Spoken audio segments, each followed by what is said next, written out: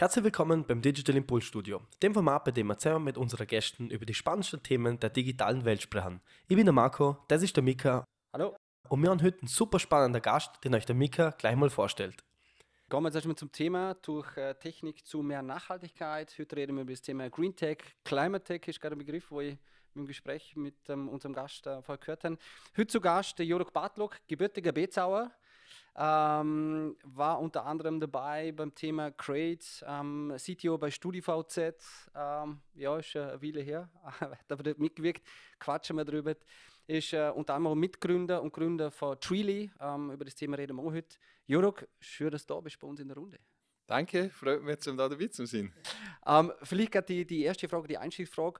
Wo, wo kommst du her und wo bist du jetzt schlussendlich gelandet? Also, könnt äh, so Geistesblitze oder Lichtblitze in meinem Leben sind gesehen, dass eine, wenn ich beim lokalen Spielwarengeschäft den Lego Technikpreis Österreich gewonnen habe mal. Und ähm, das war so mein erster Blick, die größere Technikwelt, Lego Technik, sage ich mal. Ähm, das ist dann weitergegangen. Mein erster Computer am Tag der offenen Tür äh, gesehen hier im Park im Gümme. Und für mich klar war, ich muss da, ich muss da rein. Dann war nächste Station äh, Neutechnikum Bux in der Schweiz. Das war erste Uni mit Internetzugang, weil die mit dem CERN verbunden sind. Dann habe ich mich selbstständig gemacht und bin parallel dazu an die Uni in Karlsruhe gegangen. Habe dort eigentlich mich selbstständig gemacht. Die erste Firma im ganzen Bereich Content Management System, Redaktionssysteme war recht cool. Unsere größten Kunden waren LA Times, Boston Globe, äh, 650 Zeitungen in den USA, wo unsere äh, Module verwendet sind für User-Generated Content, kommentieren, Videos uploaden, Kleinanzeigenportale, wo wir programmiert haben.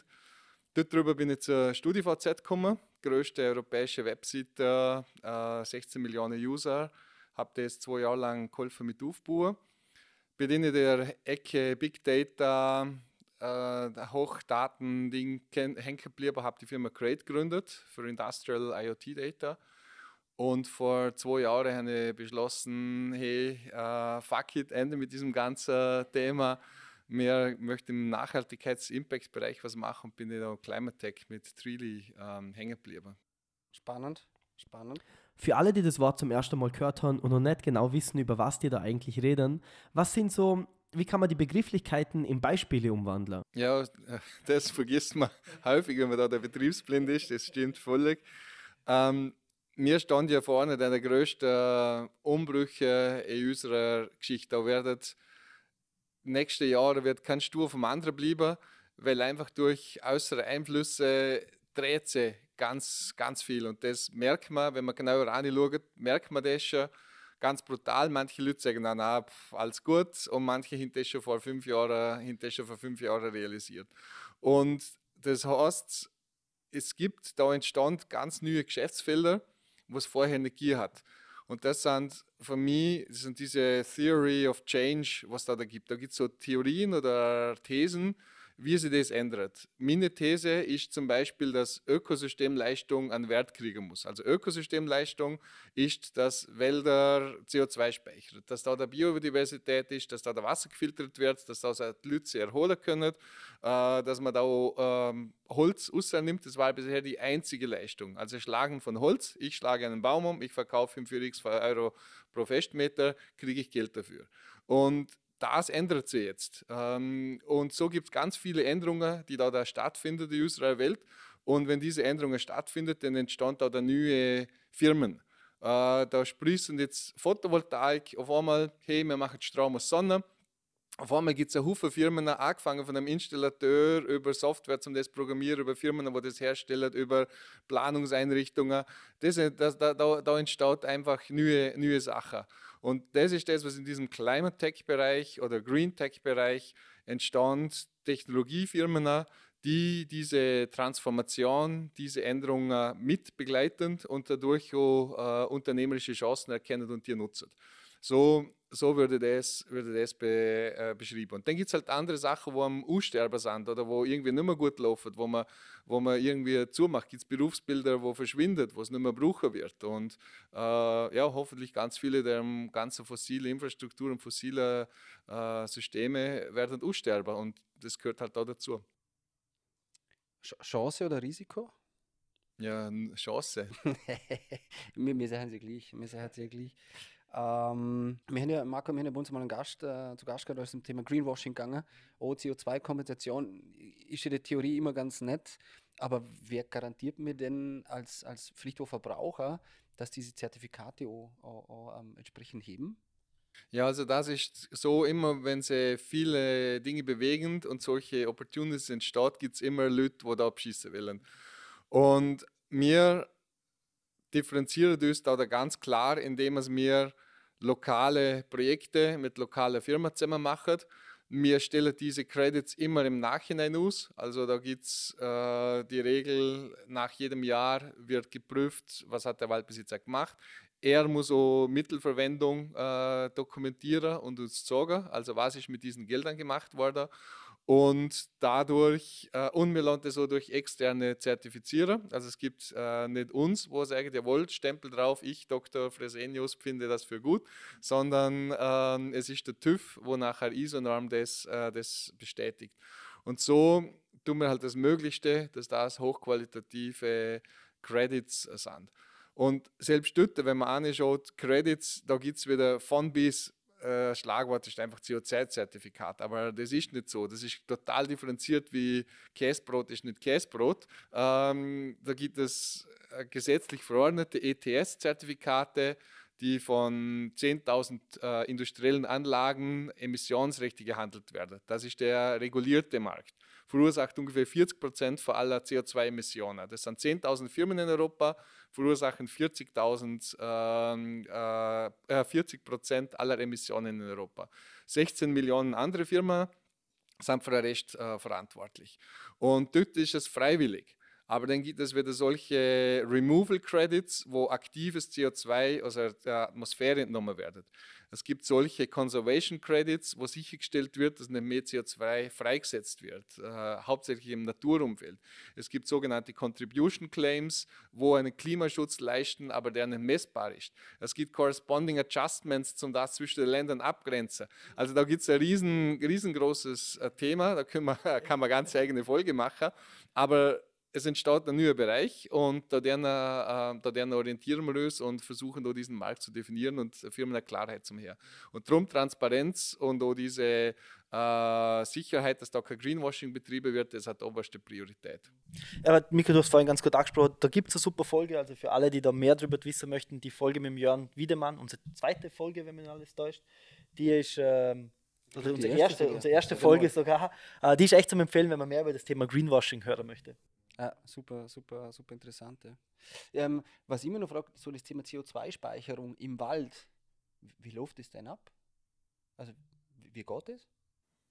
Also, aktuell ist so, dass Europas Wälder 7% von aller Emissionen oder allem CO2 speichert. Also wenn man ganz Europa anschaut mit allen Emissionen, dann ist Wald 7%. Das hört sich irgendwie total weniger, aber ist auch brutal viel, weil wir ja alles unser gesamte Leben hat mit CO2 zu tun.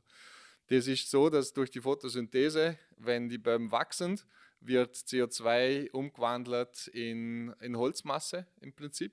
Und ähm, eine Tonne Holz hat ungefähr 750 Kilo CO2 drin. Also ist Holz und CO2 fast gleich zum Rechnen, beziehungsweise ist es gerne mehr, wenn man jetzt äh, Wurzelwerk und Humus, wo aufgebaut wird, ist je nach Laub oder Nadelbaum speichert ähm, eine Tonne Holzmasse, die so umeinander ist, 1,2 bis 1,5 Tonnen CO2. Also das ist echt eins zu eins oder so gerne drüber, wenn man die andere Sache mitrechnet, gleichzusetzen mit, mit CO2-Speicherung. Bei deiner Credits geht es immer um drei wesentliche Themen. Zusätzlichkeit, äh, Dauerhaftigkeit und Vermeiden von Umwegeffekten. Also es muss dauerhaft gespeichert werden, in unserem Fall mindestens 30 Jahre, sonst kann man nicht sagen, äh, besser ist läng, äh, länger ist besser, aber mindestens 30 Jahre. Ähm, es muss zusätzlich sein, also die Bäume, wo schon da stand, die stand da, da kann man nicht sagen, okay, es rechnet diesen ab, sondern es muss eine Veränderung stattfinden. Entweder, dass äh, Wald umgebaut wird, die klimafitte Wälder und dadurch sichergestellt wird, dass, äh, dass das CO2 nicht frei wird, oder dass Nutzung, die möglich wäre, nicht durchgeführt werde, oder dass einfach Wälder mehr Vorräte drin sind. Ah, das, ist das, eben, das sind also Themen von Improved Forest Management, dass man den Wald besser bewirtschaftet und dass drum mehr wächst und wenn mehr wächst, wird mehr CO2 gespeichert. Und dann geht es noch weiter, dass man das Holz aus dem Wald raus nicht vergammeln lässt. Äh, das wäre das Schlimmste. Ähm, ein Teil davon wird man in Biomasse nutzen, aber das ist eigentlich ein Nullsummenspiel und sorgt teilweise auch für Feinstaub und solche Sachen am besten langlebige Holzprodukte, dass das Holz verbucht wird über ideal 100 Jahre und länger und auch mehrfach, mehrfach genutzt wird. Und wenn man das alles besser macht, dann hätten die Wälder das Potenzial, bis zu 12 Prozent des gesamten CO2s der EU zum, zum Speichern. Also wir reden insgesamt durch Improved Forest Management plus langlebige Holzprodukte und andere Holznutzungsarten, äh, das von 7 auf 12 Prozent zu, äh, zu erhöhen. Und das nur, weil beim halt wachsen. Aber die richtige, weil wenn wir jetzt wieder nur äh, alt, äh, Fichte hin äh, und durch den Klimawandel wird es trockener und wir brauchen mehr Laub und wir brauchen mehr Tanner. Also da muss die Waldgesellschaft auch anpassen und das ist halt ein langwieriger Vorgang, weil das äh, bis ein Baum wächst, das braucht halt äh, bis 100 äh, Jahre geht mit viel auf morgen. Ich, ich finde so ein super spannendes Thema und den, den Bezug her zum, zum Bringer, zum Erber, vielleicht auch mit dem ganzen Technikbereich, aus dem du ja kommst, schon mal die Expertise klar abzapfen kann. Was denkst du jetzt, wie, wie kann die Technik bei solchen Themen aber dabei helfen, so, solche Sachen zu verändern? Also für jeder, der vielleicht Entwickler ist, der sagt, boah, hey, ich will Impact, ich will was mit Purpose machen, was denkst du, was sind so die Wege, die man da einschlagen kann? Also das ist, oder das, ich bin ja totaler Newcomer, der äh, Branche, äh, Ertragstafeln und Bonitäten und Zuwachs und Geburt der Zuwachs und alles Mögliche. Das ist der Waldbewirtschaftung ist seit Hunderten von Jahren wird das gemacht. Und ich komme als Outsider und viele in diesem Technologiebereich, da gibt es ein paar Ansätze. Das ist, der Vergleich ist, es geht wie das heiße Messer durch Butter, weil man Sachen anders denkt und weil die ganze Branche überhaupt noch nicht digitalisiert ist. Da sind ganz viele ausgedruckte Pläne in Ordnern drin. Da äh, ist viel Wissen, äh, wo noch nicht da ist. Aber die neue Technologie hat extrem viele Möglichkeiten. Man kann über Laserscannings äh, bestimmen, wo stand wie viel Bäume und welche Baumarten, wie dicht stand die. Früher hat man zwei Jahre lang Praktikanten im Sommer, äh, jeder hundertste Baum Messer lang, wie dick er ist und vermessen lang und äh, brutal aufwendige Arbeit und das hat man halt so alle 15 Jahre mal gemacht. Und das heißt, genau ist das eine Branche, wo die Digitalisierung gar nicht wirklich angekommen ist und auch so total klein strukturiert. Also es gibt ähm, äh, in Vorarlberg oder in ganz Österreich gibt es äh, 160.000 Waldbesitzer, aber 400, nur 400 Waldbesitzer, wo 500 Hektar und mehr haben. Also als Vergleich, Vorarlberg hat 100.000 Hektar. Mit 10 Waldbesitzern hat man so die große Fläche abdeckt. Aber Stadt Dorbier hat zum Beispiel 1800 Klein- und Kleinstwaldbesitzer, wo ein Hektar oder mehr hin und bei denen weiß man überhaupt nicht, was man tut.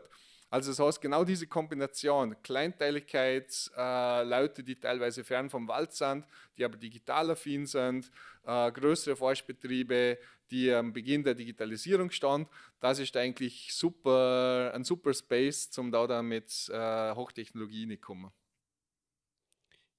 Ist es, ist es aber auch die Art und Weise, wie man das digitalisiert, das Thema, weil Digitalisierung hat ja was mit Strom zu tun, Computer, mit Rechenleistung. Ist jetzt, was wie, wie stehst du zum Thema Energie und die Art, wie man so Energie nutzt, für zwar ein gutes Thema, aber ähm, was hast du für Meinung dazu? Also der Aufwand-Nutzen-Thema ist dort, äh, ist dort eigentlich Peanuts. Also wenn man von den Energiemengen redet und auch wenn man den, also die Effizienz dieses Werkzeuges, Computer und des erzeugten Ausstoßes vergleicht mit dem Impact, was es hat, dann ist das wie ein super scharfes Sushi-Messer, wo, wo da dran ist. Das ist nicht irgendwie so ein äh, alter Schiffsmotor, Dreckschleuder, wo da behäbig irgendwie was Neues tut. Und klar ist das auch nicht zu vernachlässigen, was der ganze Stromverbrauch äh, von dem angeht. Äh, viele Rechenzentren hin eigentlich schon Green IT, sage ich mal, hin grüner Strom, äh, sind, versuchen ressourceneffizient zu sein. Also klar kann man das optimieren und muss man optimieren, was diese Algorithmen angeht. Aber im Vergleich zu anderen Sachen ähm, halte das äh, für, für, für kein, riesengroßes, äh, riesengroßes Thema. Also würdest du sagen, man kann auch nach wie vor im Jahr 2023 Coden, äh, Programmieren ist nach wie vor ganz ein, ein wichtiger Bestandteil, glaube ich, in dem Thema, oder? Ja, ja, ja auf, je, auf jeden Fall. Und da, da gibt es ja super spannende Ansätze. Also die Leute in dem Bereich machen sich auch Gedanken darüber. Die, die, die, die sind ja auch am Thema Nachhaltigkeit interessiert. Es gibt zum Beispiel schon so Routing-Protokolle, wo der Datenverkehr übers Internet nicht nach der schnellsten Route äh, geroutet wird, sondern nach der energiefreundlichsten Route. Das heißt, dass zum Beispiel, wenn ich meine E-Mail und diese Datenströme, werden die jetzt übers Unterseekabel in England geroutet oder ganze über einen Satellitenlink für irgendwas. Also da gibt es so Entwicklungen für solche Protokolle. Und auch diese Data Centers für künstliche Intelligenz oder die Prozessoren, die da entwickelt werden, die werden auch immer Energie, äh, energieärmer, was sie, was sie brauchen. Also dort äh, hat die Technologie hat dort schon einen riesengroßen Fortschritt. Was hast du noch für Beispiele? Mach weiter. Ich wollte, mir, ich wollte aber gerade sagen, das, äh, das wäre aber eine Frage, was, was sind denn so die Technologien, wo du denkst, du kommst jetzt ja wirklich stark aus diesem, aus dem Technikbereich, jetzt es in dieses Impact rein. Was denkst du, was sind so die Technologien, die uns da in der Zukunft erwarten, wo Programmierer und allgemein die ganze Technik immer interessanter wird?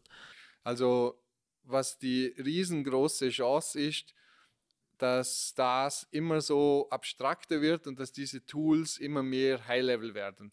Dass viele Leute also das Berufsfeld von uh, jemandem, der in diesem Technologiebereich ist, das wird riesen, riesen, riesen breit.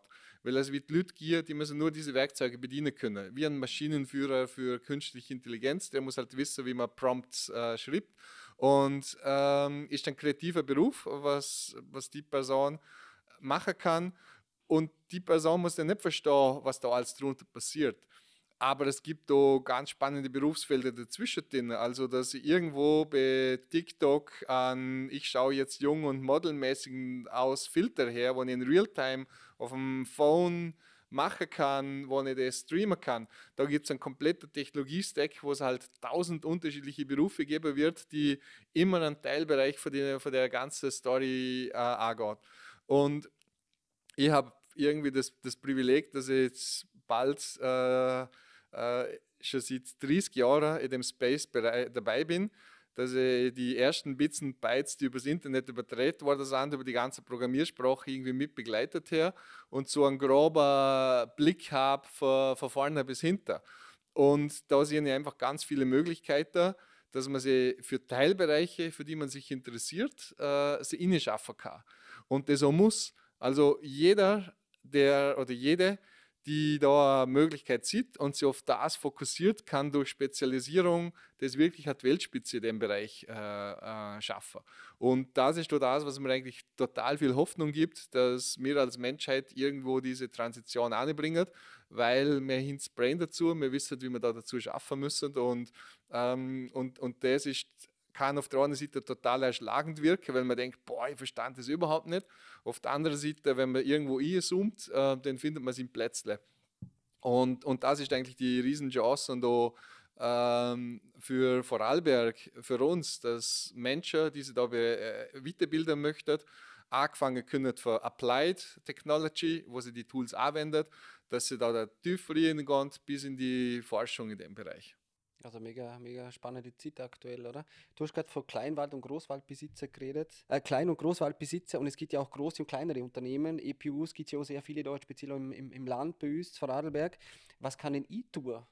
Zum Beispiel hast du da klare ähm, vielleicht Inputs, Tipps, wo ich sagen kann, ja, generell in Nachhaltigkeit interessiert mich schon, aber was kann ich jetzt in meinem Business tue, aber das Routing-Protokoll habe ich zum Beispiel noch nie gehört, gesehen, gewusst, bla bla bla. Es gibt jetzt Ferki wenn E-Auto habe, das Thema Ökostrom. Was hast du da für? Also, das ist da ein super Thema, weil ja, wir haben ja nur so viel und ich habe äh, 10 äh, Kilo Ausstoß, äh, 10 Tonnen hat der durchschnittliche Österreicher, also auf 6 Tonnen aber kommen, aber das ist hier gar nichts, weil ich habe ja die, den größten und na, das ist eigentlich einfach der größte Blödsinn und jeder, wo jede, wo das sieht, das äh, ja, triggert mich, weil ich glaube, ich glaube an einer Welt, die muss für alle funktionieren. Also, und das ist die Überlegung, wie funktioniert eine Welt, die für alle funktioniert? Wie schaut die Welt aus? Mit meinem Business. Wenn ich was tue, egal als EPU, als großer Firmenboss äh, oder als Sachbearbeiterin, Vodana, ich muss mir überlegen, wenn ich diese Aktion mache, funktioniert das für alle auf der Welt. Und wenn ich es so mache, funktioniert es dem für alle oder funktioniert es dem für alle. Und das ist eigentlich der Maßstab fürs Handeln wo man, wo man ansetzen muss. Und Klima ist da ein wichtiger Teil davon. Und es ist auch nicht immer einfach. Es gibt Bereiche, wo man Overshoot macht, wo man es jetzt übertrübt. Und dann gibt es andere Bereiche, wo man wieder kompensieren kann. Da ist so dieses Thema, eben diese Donut Economy, ich weiß nicht, ob ihr da davor schon mal gehört habt, das kann jeder auch mal nachschauen.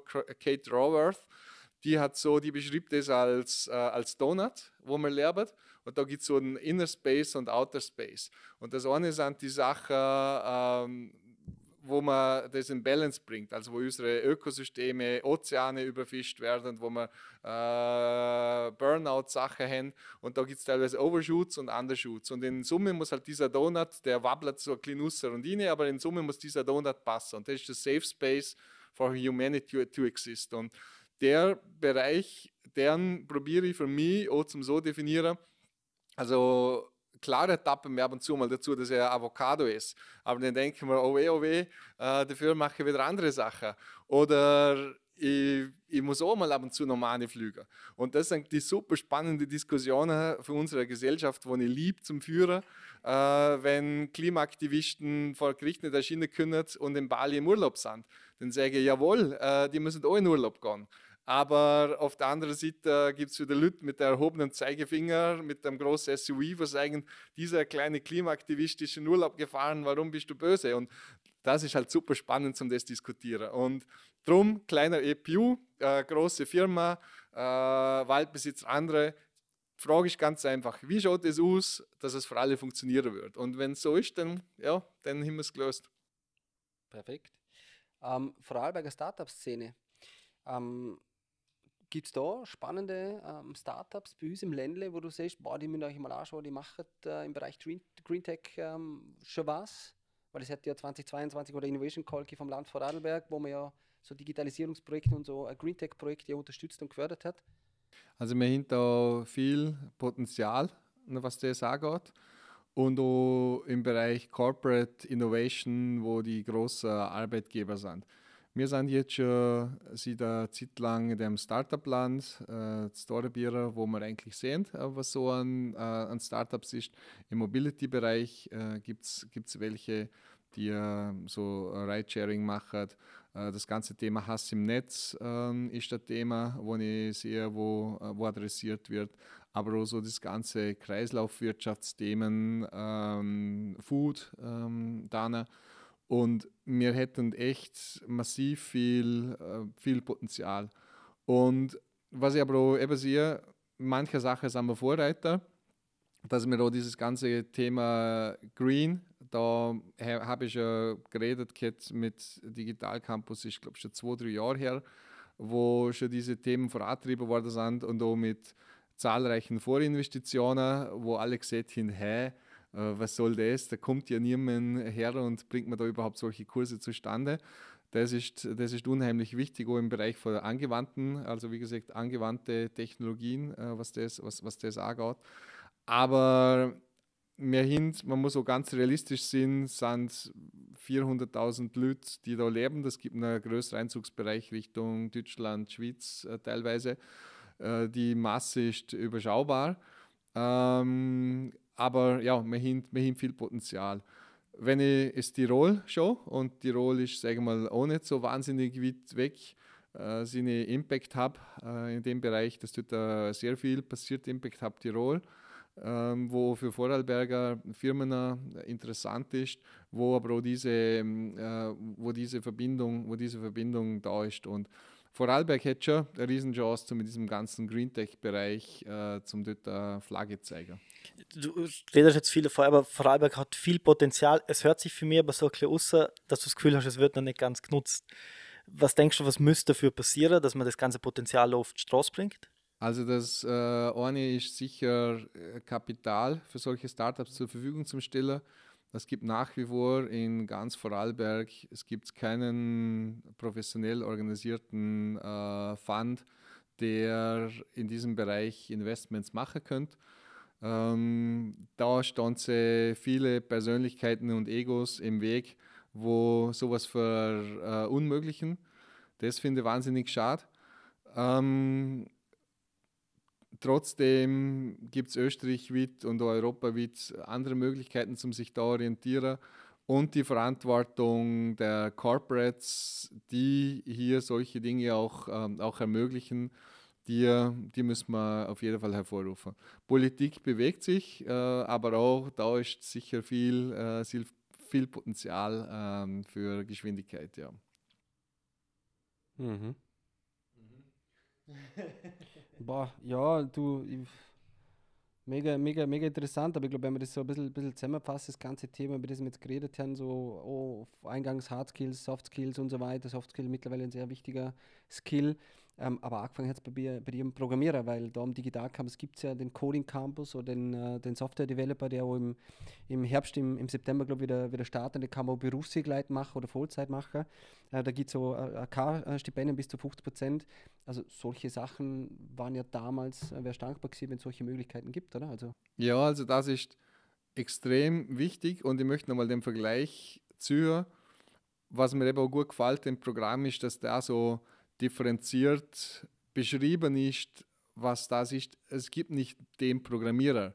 Das ist, wir bauen da virtuelle Gebäude. Das muss man sich wie eine Stadt vorstellen. Ich bezeichne mich auch teilweise als Architekt oder als Softwarearchitekt, nicht einmal, sondern Systemarchitekt, wie solche Dinge entstanden. Und da gibt es ganz viele Berufsfelder. Da gibt es angefangen vom Murer, vom Elektriker, vom Innenausbauer, vom Tischler, vom Installateur, vom Dachdecker, vom Baggerfahrer. Diese Berufsbilder gibt es in dieser Digitalisierung. Und wenn wir, und die haben da echt das Glück gehabt, zum tolle Teams mit ganz diverser Leuten zum her, da gibt es der der Murer. Und der musste nochmal zwei Wochen lang auf der Baustelle sein und muss blöd gesagt easy lecker an der Sonne und muss dieser blöden Software-Code, der das, das, das, das, äh, das machen, hat aber auch wieder super Momente, wo äh, dann gibt es einen Aufrichter, wo wieder ein, äh, ein, ein wichtiger Bereich gemacht wird. Und das ist da das, was so ein Programm aufzeigt, diese Vielfalt an Möglichkeiten zum da spezialisieren. Weil es ist ein Unterschied, ob ich jetzt Zimmermann werden möchte und mit Holz eher in der Höhe schaffen möchte oder ob ich im, äh, im Beton, Ziegel irgendwie bau bin und das lieber, lieber möchte. Und da entstehen ganz, ganz viele Berufe, wo man jetzt noch nicht einmal weiß. Und es gibt einfach einen riesengroßen Bedarf äh, von, der, von der Firmen, äh, zum das brauchen. Weil, vielleicht noch ganz kurz um den Bogen zum Zurückschlagen. Startups ist nicht die allgemeine Lösung, sondern innerhalb von den Firmen Leute, die bereits im bestehenden Berufsweg standen, die sich da, da umorientieren, weiterorientieren, neu orientieren. Das ist eigentlich das riesengroße Potenzial, was wir da in Vorarlberg, äh, im Vorarlberg hin. Und dann braucht es halt auch 10% Startups gehört da genauso dazu.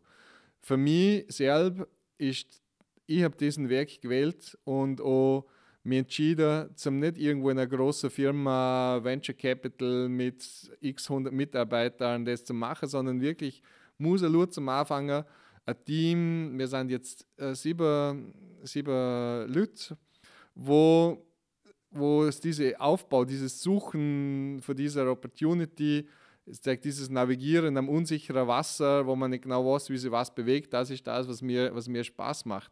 Und so bin ich halt in diesem Startup-Umfeld äh, Umfeld drin. Aber auch Leute, die da mehr Sicherheit, mehr Konstanz haben, die sagen, ich bin mit meinem Berufsumfeld nicht ganz zufrieden, ich möchte was machen, was mir äh, purposeful ist, was mir impactful ist, sind solche Zusatzqualifikationen wie Programmieren. Ähm, zwangsläufig. Und ein paar Grundregeln lernt man immer. Also, was ist der Wenn-Dann-Schleife? Was ist irgendwie äh, Iteration? Wie, das ist so wie, dass man überhaupt Karten spielen kann. Und diese Grundskills sind da und müssen da sein. Und dann geht es halt Spezialisierung in alle verschiedenen, verschiedene Sachen rein. Aber ein Grundskill für Programmieren muss einfach jede und jeder heutzutage. Ja. Das, äh, du, ich wollte gerade eine Frage stellen und du präsentierst sie mir eigentlich eh gerade auf dem Silbertablett. Du hast vorhin echt eine super Metapher gehabt mit, mit der Bauarbeiter äh, am Bau und jetzt im Prinzip im, im digitalen Lehrer. Was sind denn, was denkst du, was sind oder beziehungsweise wie fange ich an, wo fange ich an, wenn ich sage, hey, das, was der Jo-Doktor erzählt, das hört sich voll interessant an, das interessiert mich. Was sind so diese Skills, die ich zuerst mal benötige, um in der Welt mitzuspielen, um so Mur aufzuziehen?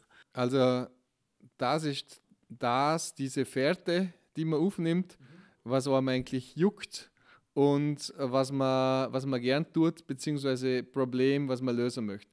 Ihr kennt das auch, dann gibt es, keine Ahnung, irgendein neues Tool oder ein neues Mikrofon oder irgendwas und dann äh, ist so wie, oder sagen wir, man kriegt ein neues iPhone und dann kann man mal alle Untermenüs ein und schaut mal, was man alles irgendwie überhaupt einstellen kann, äh, was, was, was es ist. Und das ist diese Neugierde, die man, die man braucht.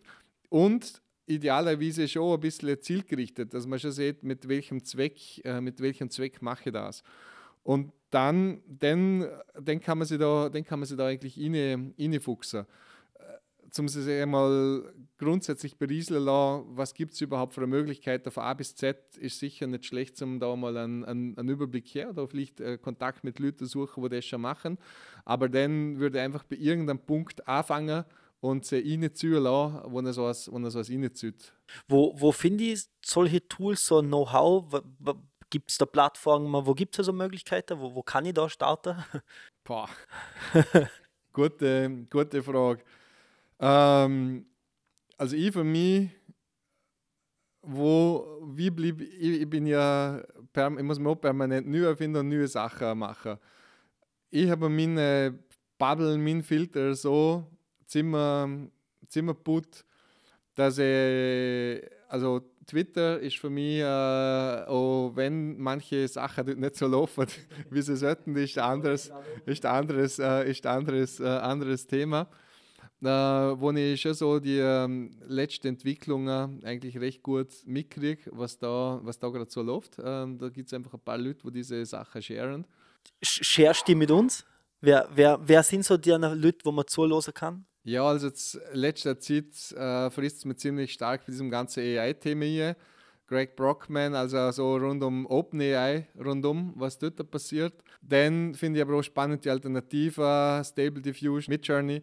Und das ist halt, also Midjourney ist ein super Beispiel, weil die Hürde recht hoch ist. Da muss man sich auf Discord registrieren und ist wieder super noisy und dann muss man irgendeinen Newbie-Channel und dann hat man ein Ding da. Aber das ist genau das Thema. Jemand, wo es interessiert, der kann sich anhocken, Computer und äh, der oder die kann sie mit Google, mit Dingfragen reinfuchsen und dann machen wir das erste Bild mit Midjourney. Und mein äh, Freund von mir, der ist Barista im Handel jetzt der hat mir erzählt, oh, voll geil, ich habe jetzt mit äh, ChatGPT die Beschreibung von meinem neuen Frühlingsrose, äh, kleiner Spoiler, Frühlingsrose für Easter habe ich geschrieben. Und wie ich das umgebracht habe mit irgendwie florale Noten und Ding, voll geil. Und der hat sich einfach am Wochenende angeguckt und hat gesagt, ja, ich will das ausprobieren. Und also, zurückkommen zum Thema. Deren Themenbereich finde ich super spannend. Dann ähm, äh, finde ich auch äh, Klimaaktivisten zum Beispiel auch spannend. Finde ich auch meinen Punkt am, am, am, Sammler, also egal ob das Extinction Rebellion last, letzte Generation ist, äh, wo ich folge, was die, was die machen.